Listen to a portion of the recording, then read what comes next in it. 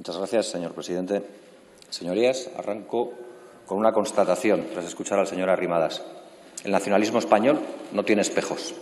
Es capaz de ver nacionalismos en todos los lugares y en todas las circunstancias, menos el suyo propio. Banderas sí, muy grandes, pero espejos ninguno. Verán el día que comprueben y entiendan que puede haber independentistas que no son nacionalistas. Implosión mononeuronal preveo. Quiero comenzar este debate hablando de los compromisos que nos importan a nosotros y a nosotras, de los compromisos con nuestro pueblo y con sus gentes. Como representantes de Euskal Herria Bildu adquirimos un compromiso, proteger y ampliar los derechos sociales, laborales y económicos de la ciudadanía. Nos comprometimos a mejorar la vida de la gente. Nos comprometimos a darles buenas noticias y hacer que sus vidas fueran vidas dignas. Y tenemos palabra y le damos valor a nuestra palabra. Y hoy podemos decir que estamos dando pasos, aunque tímidos, mucho más tímidos de lo que nos gustaría, en esa dirección. Pero estamos avanzando.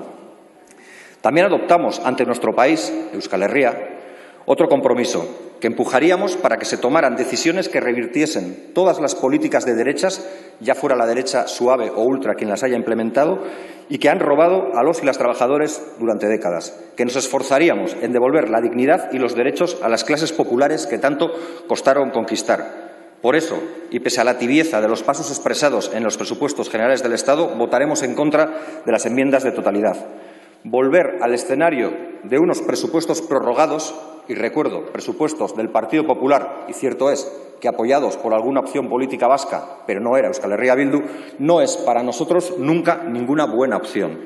No es una buena opción para quienes demandan apoyo a las instituciones para salvar su angustiosa situación que es resultado y fruto de políticas públicas que les han ignorado sistemáticamente y que hoy sufren con mayor intensidad por consecuencia de la pandemia y la triple crisis asociada a ella, la social, la económica y la sanitaria. Estos presupuestos generales no son solo el trance económico a pasar o superar para transitar un año más. La aprobación de estos presupuestos son la primera prueba de fuego para un Gobierno que accedió al poder señalando la necesidad de iniciar un cambio de rumbo ante la deriva neoliberal en la que este Estado lleva sumido durante décadas y también, y asociado a esta deriva, la propia, la propia, deriva autoritaria, recentralizadora y esquilmadora de derechos sociales y laborales, individuales y colectivos. Somos sinceros, lo intentamos ser siempre que subimos a esta tribuna y que hacemos política. Y nos gusta hablar claro a la gente, aunque lo que pueda escuchar le guste menos. Estos presupuestos no revierten de raíz el modelo neoliberal impuesto y apuntalado desde hace décadas. Eso es evidente.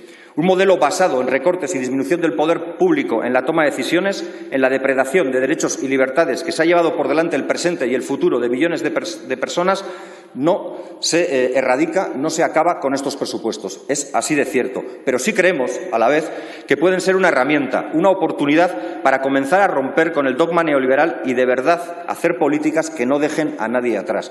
Porque a nosotros, señora ministra, nos importa más el qué que con el con quién.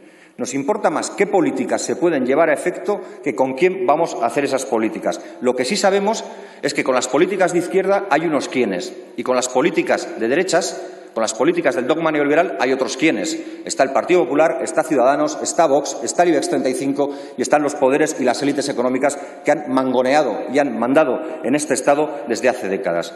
Por eso, ante esta oportunidad que se abre hoy con los presupuestos generales, si ésta se encarrila hacia la ruptura con esa deriva neoliberal y hacia la apertura de un nuevo ciclo político, económico y social durante los próximos años, en esa realidad nosotros participaremos y recorreremos el camino de forma conjunta. Así lo expresamos en enero del 2020 y así lo reiteramos hoy nuevamente en noviembre del 2020. Nuestra palabra vale más que los zigzagueos de alguna formación política que, por puro instinto de supervivencia, hoy pretende presentarse como moderada. Porque le daré un dato en el que quizás usted ya ha reparado. La intervención de la representante de Ciudadanos ha arrancado con un recuerdo a las víctimas, que me parece respetable y loable, incluso lo comparto, pero ha señalado un dato que ha sido el de cifrarlas en 70.000 las personas muertas en esta pandemia. Ustedes, su propio Gobierno, habla siempre de 40.000, de en torno a 40.000 hasta la fecha, y ojalá se quedaran ahí.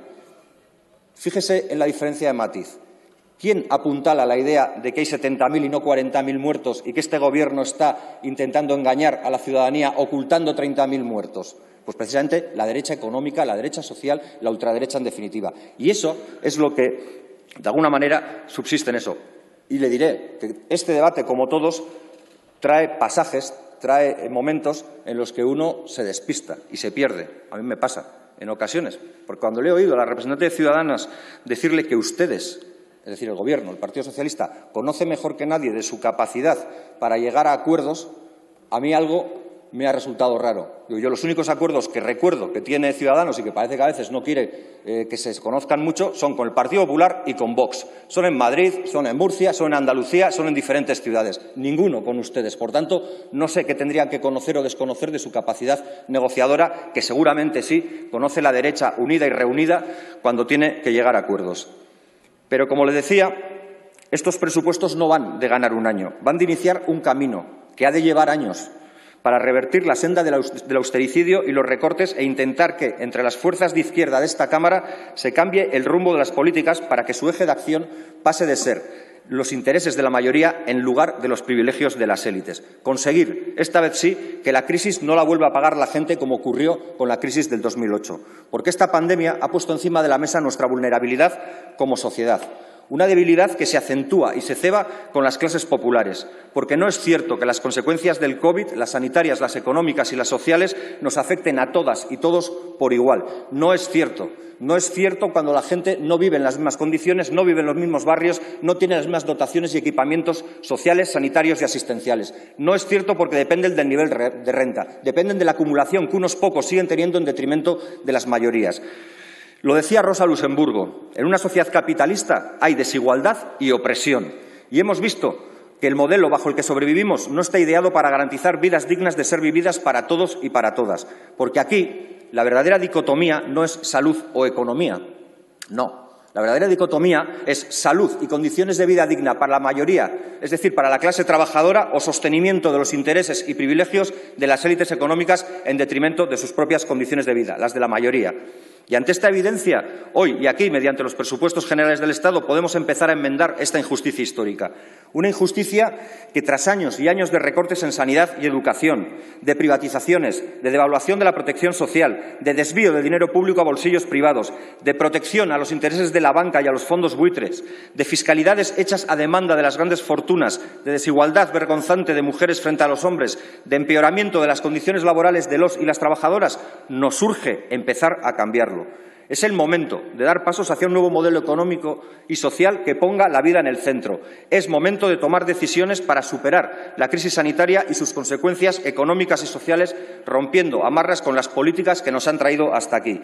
Si ese es el propósito que anima a este Gobierno en estos presupuestos, estamos dispuestos a arrimar el hombro.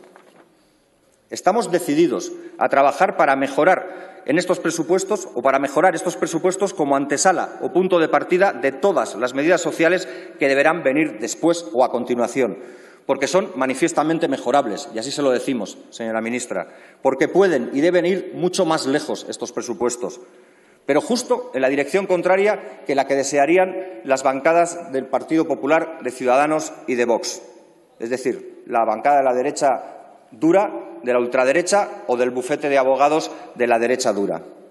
Porque aquí hay mucho que hacer y por hacer. Tenemos que avanzar en paralelo a estos presupuestos generales del Estado en otras medidas. Tenemos que trabajar en la restitución de derechos para los y las trabajadoras en una situación como la actual, donde la pérdida del puesto de trabajo se ciñe como una espada de Damocles sobre el cuello de millones de personas. Podría empezar hoy y no acabar hasta mañana citando todas las empresas que están despidiendo a sus trabajadores o están cerrando la actividad. Yo les he hablado de Alestis, de Tubacex, de Arnova, de GTS, de matricerías de Usto. Solo son vascas y hay muchas más que estas. Pero seguramente que en el Estado español podrían aportarme muchísimas más. Y podríamos hablar también de todos los trabajadores y trabajadoras que están en huelga para defender la dignidad en sus puestos de trabajo, hoy más amenazada que ayer, como por ejemplo los hostibadores del puerto de Bilbao. Por eso hace falta derogar la reforma laboral.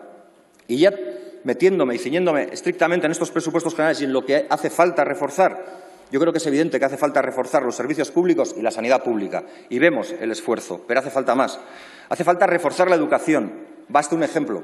El otro día un filósofo en un medio de comunicación decía que hace falta menos ideología y más soluciones. Tal cual. Menos ideología y más soluciones. ¿Y de dónde vienen las soluciones? Sino de la puesta en práctica de ideas. ¿Y qué son? Una serie de ideas concatenadas que empujan hacia un mismo objetivo sin una ideología. Eso es lo que defienden algunos, la tecnocracia frente a la democracia. Por eso también hace falta más educación, para que la gente entienda que la democracia es el poder del pueblo frente a la tecnocracia, que es el poder de las élites. Pero hace falta también reforzar los cuidados, el derecho a cuidar y a ser cuidados. Y hace falta erradicar la desigualdad entre mujeres y hombres, porque sigue siendo vergonzante tener que subir a esta tribuna para tener que decir que la brecha salarial sigue siendo una constante en las vidas de las mujeres del Estado español. Y hace falta también, como lo decía hace un momento usted, señora ministra, una transición ecológica. Pero hace falta ser audaces en esa transición ecológica, en la energética y en la ecológica. Y para eso hace falta no someterse a los chantajes que puedan intentar poner en práctica algunas multinacionales. Pero para conseguir todo eso, para tener recursos para todo eso, hace falta un modelo fiscal. Y un modelo fiscal que se base en un precepto tan básico como que el que más tenga, más pague. Que subir impuestos a quien más tiene no sea una posibilidad o una opción, sino una obligación, un imperativo ético.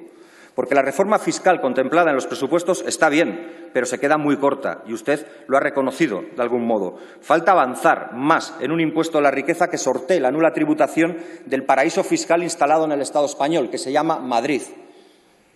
Hace falta reducir también las deducciones sobre el impuesto de sociedades. Hace falta subir la tributación del IRPF no solo a una élite o superricos, sino también a los ricos. Porque sigue siendo indignante que cinco personas en el Estado español posean más dinero que 25 millones de ciudadanos del Estado español. Y eso está ocurriendo aquí y ahora. En definitiva, recaudar más a quienes más tienen para garantizar dignidad para todos y para todas, a través de una redistribución o reparto de la riqueza efectivo y real. Porque esta, a día de hoy, la riqueza existe y lo que hay que hacer en todo caso es reunirla. Existen paraísos fiscales, ya sea en Jersey, ya sea en Suiza, o en cualquier otro lugar. Existe en el dinero que la banca se ha quedado, 60.600 millones de euros, y no tiene previsto devolver. Existe en la corrupción, que se ha llevado del orden de 90.000 millones de euros anuales, según estudios de la propia AIREF. 45.000 dinero llevado íntegramente y otros 45.000 intentando recuperarlo. Existe en los 30.000 millones de euros que se eh, evaden fiscalmente todos los años, según un estudio de Gesta. Y existen también en lo que perdemos en la capacidad recaudatoria de impuestos, 55.000 millones de euros anuales, si lo comparamos con lo que otros países europeos hacen en materia fiscal. Por tanto, sabemos dónde tenemos que ir a buscar el dinero o a recuperar el dinero, sería mejor decir, y hay que hacerlo ya. De ese modo y con esos recursos podemos invertir en lo importante, mucho más importante que cualquier infraestructura, por útil que se venda o que se plantee. Y, desde luego, mucho más útil que cualquier institución o jefatura del Estado, por inútil que se demuestre. Y esa realidad, eso importante, es la gente. Prueben a ser poderosos e incluso temibles por el dinero que invierten en la gente y no por el que se malgasta en armamento, en soldados y en militarismo. Porque, señores de la derecha, escúchenme bien, bien.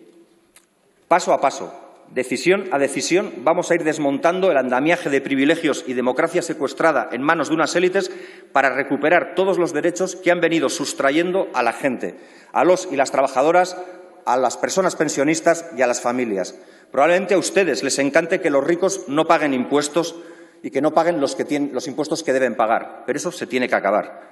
A ustedes, seguramente, es decir, a la bancada azul, a la verde y a la naranja, les encantará que los bancos se llenen los bolsillos con el esfuerzo de la gente y con el dinero público. Y eso se tiene que acabar. Tienen que devolver el dinero que se les prestó y tienen que acabar con cláusulas como la de IRPH y otras que siguen haciendo que la gente malviva y sufra.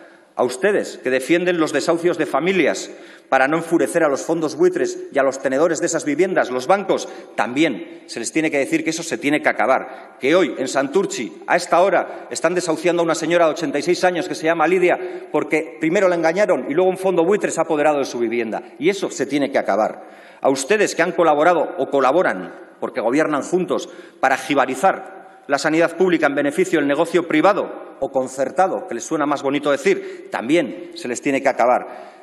Porque parece que tendrían que haber entendido ya que no hay porras que paren a las gentes que en los barrios obreros piden la misma igualdad de trato en la sanidad que tienen en los barrios ricos. Y no confundan a las gentes que salen en los barrios obreros con los que hacen batucadas con cacerolas y fachalecos. A ustedes probablemente les parezca lógico que una empresa pueda pisotear los derechos de sus trabajadores y trabajadoras y despedirles casi gratis. Es más, nos dirán aquello de es el mercado, amigos, pero también eso se tiene que acabar. A ustedes que deciden mirar para otro lado para no tener que mirar a los pensionistas cuando reclaman lo que les pertenece, lo que por justicia se han ganado durante décadas, también habrá que decirles que se tiene que acabar con esa ignominia. A ustedes que se preocupan mucho, muchísimo, por lo que vemos en esta Cámara, por la gente migrante que viene al Estado español, incluso criminalizándola y nada por los jóvenes que se tienen que ir fuera a buscar la oportunidad que aquí les niegan, también se les tiene que acabar ese privilegio. A quienes se enervan con cualquier política que va dirigida a erradicar la violencia contra las mujeres, también se le tiene que acabar. Porque todo esto es lo que, en síntesis, tenemos que empezar a empujar con estos presupuestos. Y le he dicho, por eso no les gustan estos presupuestos ni el proceso de cambios que una mayoría de izquierdas hipotéticamente pudiera llevar a efecto y que nosotros empujaremos para que lleve a efecto. A fin de cuentas, con acción y determinación clara como la que planteamos, se acabó el secuestro de la democracia por las élites financieras y económicas. Se acabó la protección del poder público solo para los ricos. Alguien ayer en este debate nos vino a traer cuál era eh, el origen etimológico de la palabra economía. Yo hoy quiero traer cuál es el origen etimológico de la palabra democracia, poder del pueblo. Eso es lo que tendríamos que recuperar para dignificar también la política. Y entiendo que a las señorías del Partido Popular, de Ciudadanos y Vox no les guste nada lo que yo estoy diciendo. Entiendo, además, que su reacción a lo que estoy diciendo le provoque rechazo. Yo solo puedo dedicarles a las señorías de Ciudadanos, del Partido Popular y de Vox, en fondo y forma, lo que dice un viejo proverbio chino que dio pie a Slavoj Zizek para titular uno de sus libros. Bienvenidos a tiempos interesantes. Y una vez expresado nuestro sentido de voto y las certezas que nos animan a ese sentido de voto y a modo de conclusión, les expresaré con suma claridad nuestra determinación seguir trabajando por y para nuestro pueblo, Euskal Herria, por y para la clase trabajadora y en favor de la libertad y la dignidad de nuestro pueblo y la gente. Y como jamás vamos a renunciar a nuestros objetivos y no nos resignamos a lo que hay y a que nada avance, no nos queda sino hacer aquello que Piotr Kropotkin señalaba. Para triunfar es necesario atreverse. Y hoy nos atrevemos a votar en contra de las enmiendas a la actualidad y también les decimos que este no será el primer paso que de Euskal Herria Bildu. Es más, les decimos con toda la claridad posible para quien quiera escucharlo y aún más entenderlo, que hoy no acaba nada. Hoy recién empieza todo, porque nos sigue devorando una lenta impaciencia para que cambien de verdad todas las cosas injustas de este mundo, para que el mundo empiece a cambiar de base y los nada de hoy lo sean todo. Muchas gracias. Muchas gracias, señora presidenta. Le revelaré algo, señora ministra. No hay solo una agenda vasca. Yo agradezco que me dé cuenta de las eh, cuestiones que el PNV impone en su agenda vasca. Nosotros a ellos ya se lo hemos dicho por activa y por pasiva que aquellas cuestiones que consideremos positivas para el conjunto de la sociedad vasca las defenderemos. No todas las que ellos eh, plantean en su agenda vasca las consideramos positivas y esas las criticaremos. Por ejemplo, la de la alta velocidad. Luego no es un buen ejemplo para seducirnos el de la alta velocidad. Preferimos las cercanías. Si tienen que hacer algo, de verdad, inviertan en cercanías. Consigan que la gente de Carranza, por ejemplo, no tarde más de una hora y media en, llegar a Bilbao. Consigan que su frecuencia de transporte público sea mucho más eh, efectiva que la que hay, que les obliga a tener que abandonar la capital si trabajan allí a las cuatro de la tarde, porque si no, no pueden hacerlo hasta el día siguiente. Eso es lo que a nosotros nos preocupa. Que al final parece que es una lección de vida que con el tema de la pandemia todos habríamos aprendido, que hay que cuidar lo local, que hay que cuidar lo cercano, que hay que saber moverse menos, pero moverse mejor.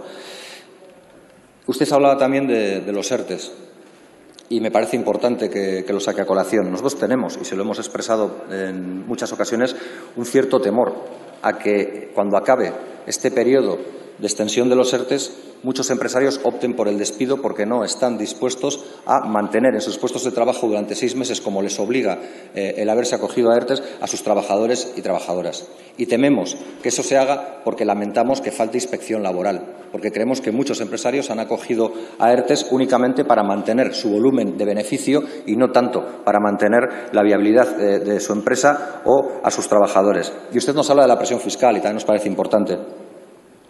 Ningún problema. Yo creo que es bueno que digamos eh, y señalemos las cosas como son. Madrid es un paraíso fiscal. Madrid está haciendo dumping fiscal con otras comunidades autónomas por su política eh, de impuestos cero para las grandes fortunas y para la riqueza, para concentrar el capital en la, en la ciudad de Madrid y así despojarlo de otros lugares. Claro, luego pasa lo que pasa. Perdonan impuestos y luego no hay dinero para dedicarlo a la sanidad. Y luego hay hospitales sin trabajadores sanitarios. Porque yo me sorprendo a veces con cosas que oigo aquí. Ayer yo oí que una persona puede pasar de ser clase media a tener que ir a las colas del hambre en cuatro meses. Yo, que había pensado que la clase media era como Dios, algo que te tienes que creer aunque no lo veas. ¿Será que es que yo no vivo rodeado de gente de clase media? Pero si existiera esa clase media, no era tan media, cuando en cuatro meses pasa de vivir en una cierta opulencia a tener que ir a las colas del hambre. Dejemos ya de ficcionar, dejemos ya de engañarnos a nosotros y a nosotras con eso de la clase media. Aquí hay una mayoría de clase trabajadora que exige tener unas administraciones a su servicio y no al servicio de las élites. Y termino con una cuestión, con el sistema sanitario. Usted ha hablado del I+D, ha hablado de la vacuna, yo creo que todos son elementos importantes y nos lo parecen así, pero creo, y aunque sé que la competencia está transferida, lo importante está en la atención primaria, que ha quedado destartalada, y lo importante está en sus profesionales, en cuidar a los profesionales del sector sanitario, a los que aplaudíamos a las ocho de la tarde, pero a los que olvidamos con demasiada frecuencia. Muchas gracias, señor Matute.